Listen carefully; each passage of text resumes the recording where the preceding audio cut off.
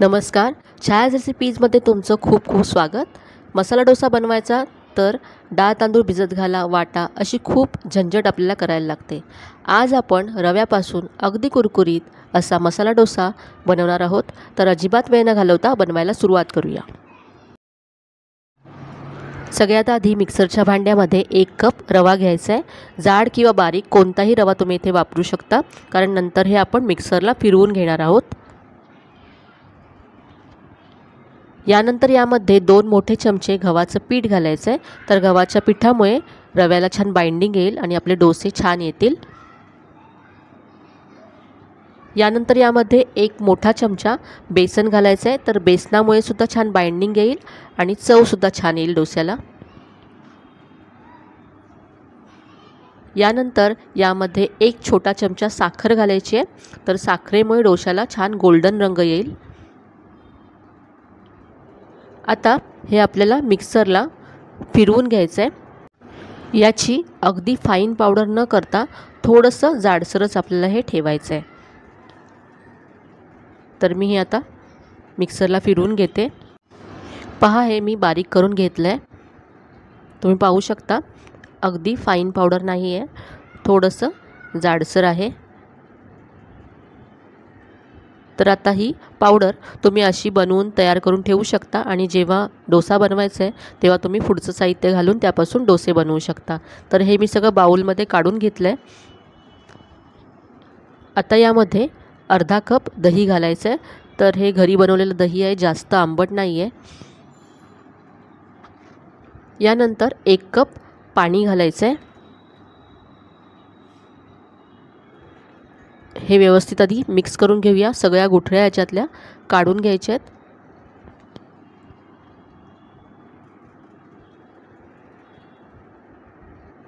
तर सुरुवातीला यामध्ये एक कपच पाणी घातलं आहे आणि नंतर आपण याची कन्सिस्टन्सी पाहून आणखी पाणी ॲड करूया.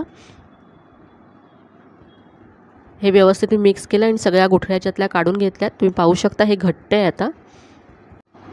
आता याला आपण पंधरा ते वीस मिनटासाठी बाजूला ठेवून देऊया. म्हणजे तेवढ्या वेळामध्ये रवा छान फुलेल. तर याच्यावर मी झाकण ठेवते. आणि आपण तेवढ्या वेळामध्ये बटाट्याचा मसाला किंवा भाजी बनवून घेऊया. तर इथे मी गॅसवरती पॅन गरम करत ठेवला आहे आता यामध्ये एक मोठा चमचा तेल घालायचं आहे तेल छान गरम झाल्यानंतर यामध्ये एक छोटा चमचा चण्याची डाळ घालायची आहे. कच्ची चण्याची डाळ आहे. यानंतर एक चमचा उडदाची डाळ घातली आहे. आता आधी या डाळी आपण दोन ते तीन मिनटं छान अशा परतून घेऊया. म्हणजे त्याचा कच्चापणा निघून जाईल. आणि जेव्हा ज्या दाताखाली येतील तेव्हा त्या छान लागतील. थोडंसं त्याचा किंचित रंग बदलेपर्यंत परतून घ्यायचे आहेत. पहा डाळी छान परतल्यात. आता यामध्ये आपण पुढचं साहित्य घालूया. आता यामध्ये अर्धा छोटा चमचा मोहरी घातले. यानंतर अर्धा छोटा चमचा जिरं घालायचं. आहे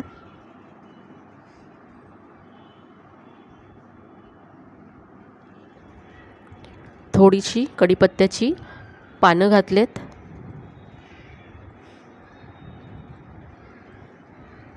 आणि अगदी बारीक चिरलेली हिरवी मिरची घातली. आहे कढीपत्ता आणि हिरवी मिरची परतून घेऊया तेलावरती.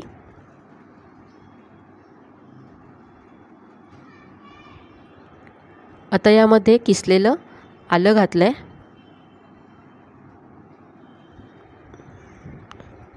आलंसुद्धा परतून घेऊया.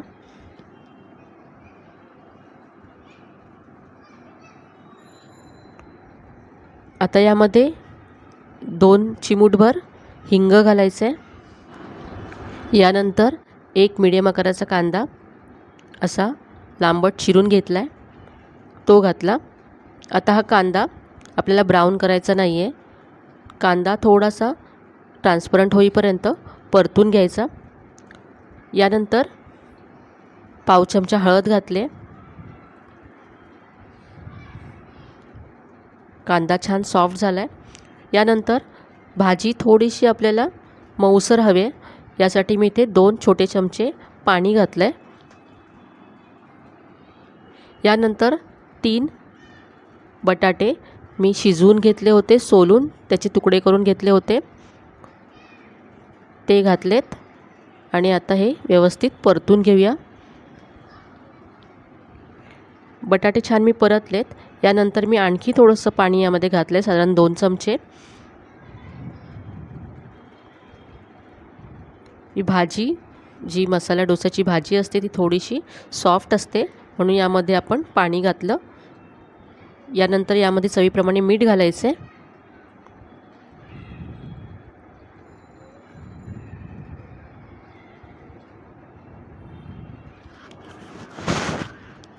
आणि सगळ्यात शेवटी कोथिंबीर घातले. आणि आपली ही भाजी तयार आहे. गॅस मी बंद केला आहे आणि भाजी आता आपण काढून घेऊया. बटाट्याचा मसाला तयार आहे. आता आपण डोसे बनवूया. तर पहा वीस मिनटानंतर हे पीठ आणखी घट्ट झालं आहे रव्याने सगळं पाणी याच्यातलं शोषून घेतलं आहे तर यामध्ये आता आपल्याला आणखी पाणी घालावं लागेल. तर आता इथे पहा मी एक कप पाणी घेतलं आहे आणखी. त्यातलं मी आधी अर्धं घालते. अर्धा कप पाणी मी ते घातलं आहे तर आधी आपण एक कप पाणी घातलं होतं आणि आता अर्धा कप असं दीड कप पाणी मी यामध्ये घातलं आहे आणि पहा दीड कप पाणी घातल्यानंतर हे अगदी परफेक्ट आहे. तर असं आपल्याला हे पीठ हवं आहे जास्त पातळही नाही आहे आणि घट्टही नाही आहे याची कन्सिस्टन्सी तुम्ही पाहू शकता. अगदी परफेक्ट झालं आहे तर आता यामध्ये चवीप्रमाणे मीठ घालायचं आहे मीठ मिक्स करूया. आणि यानंतर यामध्ये पाव चमचा बेकिंग सोडा घालायचा आहे सोड्यावरती थोडंसं पाणी घालायचं. आणि हे आता दोन मिनटं बीटरने असं छान मिक्स करून घ्यायचं.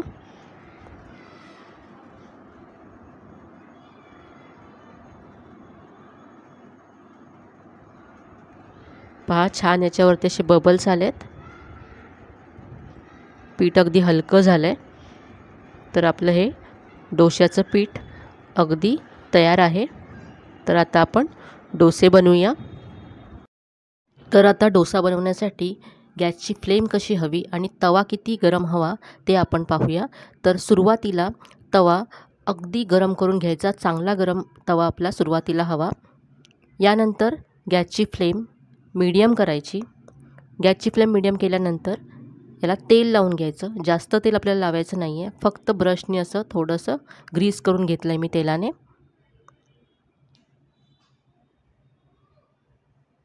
असं व्यवस्थित तेल लावून घेतल्यानंतर आता तवा खालून खूप गरम आहे. तर तव्याचा वरचा सरफेस थोडासा थंड व्हावा यासाठी याच्यावरती असं पाणी शिंपडायचं. नंतर हे पाणी टिश टिश्यू पेपरने किंवा एखाद्या कपड्याने असं पुसून घ्यायचं. गॅसची फ्लेम मीडियम आहे. आता दोन चमचे बॅटर किंवा डोश्याचं पीठ यावरती घालायचं आणि असा सेंटर क कडून कॉर्नरकडे असा हा डोसा बनवून घ्यायचा.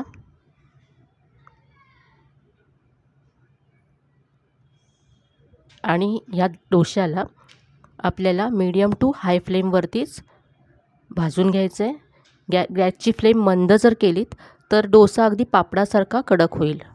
यासाठी मीडियम टू हाय फ्लेमवरतीच हा डोसा आपल्याला भाजून घ्यायचा आहे वरची बाजू ड्राय झाल्यानंतर असं तेल किंवा बटर लावून घ्यायचं. आणि यानंतर हा तवा मोठा आहे. त्यामुळे सगळीकडून डोश्याला छान एकसारखा ब्राऊन कलर यावा. यासाठी तवा असा फिरवून सगळीकडून डोश्याला छान भाजून घ्या. म्हणजे सगळीकडून डोश्याला छान ब्राऊन रंग येईल. तर असा मी डोसा पहा. तवा फिरवून सगळीकडून भाजून घेते. तर ज्या बाजूने तुम्हाला डोसा भाजला नाही आहे किंवा ब्राऊन झाला नाही आहे असं वाटत असेल त्या बाजूला तवा त्या बाजूचा तवा तुम्ही गॅसच्या फ्लेमवरती धरा. तर पहा असा सगळीकडून ब्राऊन झाला आहे डोसा. तर आता आपण काढून घेऊया. पहा किती छान रंग आला आहे आणि अगदी कुरकुरीतसुद्धा झाला आहे डोसा. तर पहा अगदी मस्त असा आपला हा रव्याचा डोसा तयार आहे. तर असेच आपण आणखी बनवूया. पहा मी दुसरा डोसासुद्धा घालून घेतला आहे मीडियम टू हाय फ्लेम ठेवायची आहे. आणि वरची बाजू ड्राय झाल्यानंतर तेल लावायचं. तेल नको असेल तर नाही लावलं तरी चालेल. आणि पहा काढून घेतला डोसा.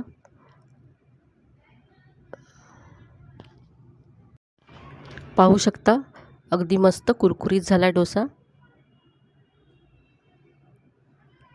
तर आपला मसाला डोसा पहा मी सर्व केला आहे बटाट्याची जी आपण भाजी बनवली किंवा मसाला बनवला चटणी आणि हा आपला मस्त कुरकुरीत डोसा. तर आजची आपली झटपट बनणाऱ्या डोस्याची रव्या डोश्याची रेसिपी तुम्हाला कशी वाटली कमेंटमध्ये नक्की कळवा. रेसिपी जर तुम्हाला आवडली असेल तर व्हिडिओला जास्तीत जास्त लाईक करा शेअर करा आणि चॅनलला नक्की सबस्क्राईब करा. तुम्ही कोणत्या शहरातून किंवा गावातून ही रेसिपी पाहत आहे ते सुद्धा कळवायला विसरू नका. पुन्हा भेटूया अशा छान छान आणि नवीन नवीन रेसिपीसह तोपर्यंत धन्यवाद.